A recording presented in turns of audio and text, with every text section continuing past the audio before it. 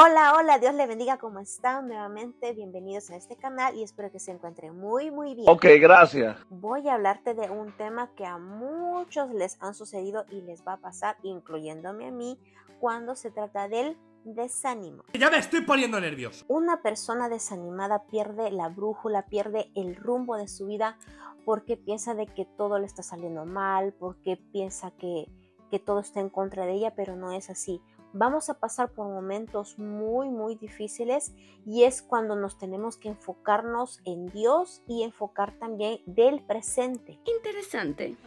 Sé que es verdaderamente triste cuando no hay ni siquiera algún apoyo emocional de parte de una familia, puede ser de los hijos o de tu cónyuge, cuando tú te sientes desanimado, cuando te sientes abatido, cuando ves de que no hay una solución para tu problema. Podemos tener momentos de desánimo, pero no hay que permitir que el desánimo te, se, te estanque por completo. Ahora sí viene lo chido. Te quiero agregar también uno de los personajes de la Biblia que me llamó bastante la atención cuando se habla del profeta Elías. El profeta Elías es uno de los grandes personajes de la Biblia y los héroes de la fe. Lo puedes buscar en la Biblia en Primera de Reyes capítulo 19 del 1 en adelante, después de que triunfó sobre los profetas de Baal y ahí cuando Jezabel le quiere darle al profeta Elías. Al enterarse de esto, dice la Biblia que se fue huyendo y diciéndole a Dios que mejor lo, que lo mandan a recogerlo o que,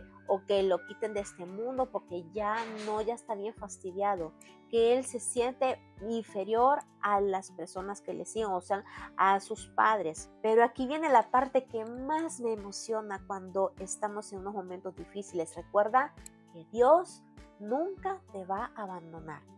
La Biblia dice de que el ángel llegó a donde estaba Elías durmiendo y le hace despertar diciendo que levantara y que tomara agua y que comiera. Esto sucedió dos veces, entonces, y el ángel está diciendo, largo camino te resta.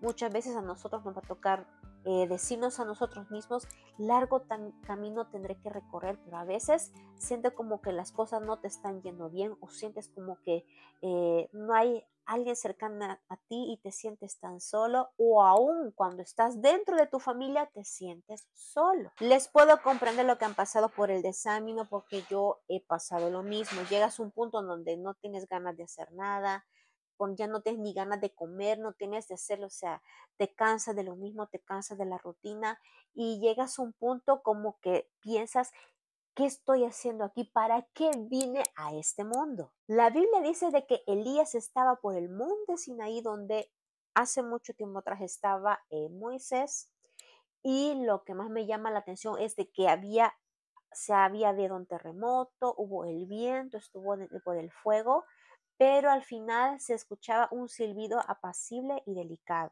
Dios le está preguntando qué haces aquí, Elías. Y Elías le respondió de que ha estado, siempre ha tenido un celo de él, que siempre le ha servido con todo su corazón, pero ahora lo están buscando para porque había triunfado sobre los profetas de Baal y ha derribado a todos los altares de Baal.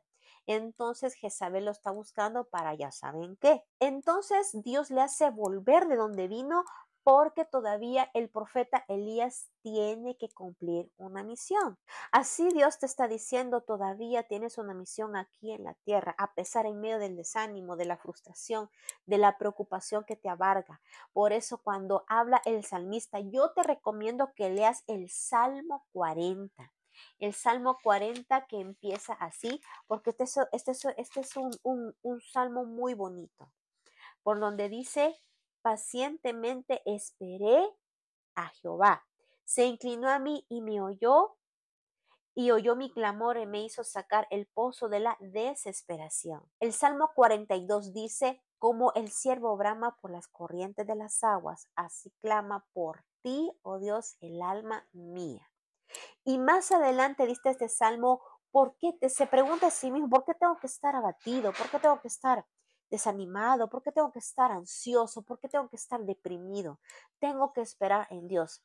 Esperar en Dios yo sé que no es nada fácil.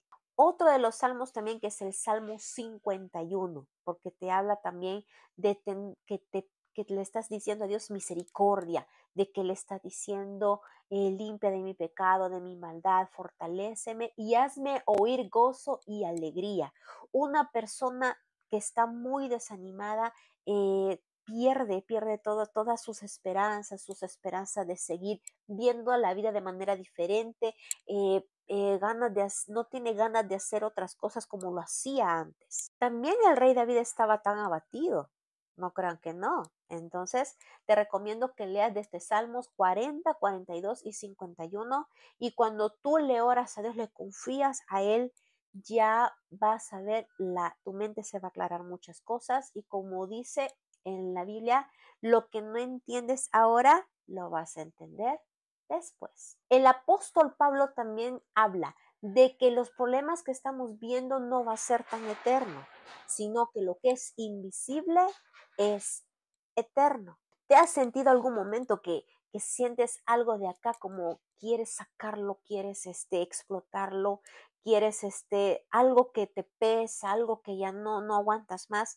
Es tu oportunidad para hablar con Dios, para conectarte con Él y decirle, mira, yo estoy pasando esto, esto, y tú le puedes llorar porque es bueno que desahogues, que te desfogues todo, para que a la larga, en unos días, vas a estar mucho más tranquilo, vas a estar más animoso y va a ser el momento de que el mismo Dios te va a dar la paz suficiente para que puedas estar de pie ante los desafíos de la vida.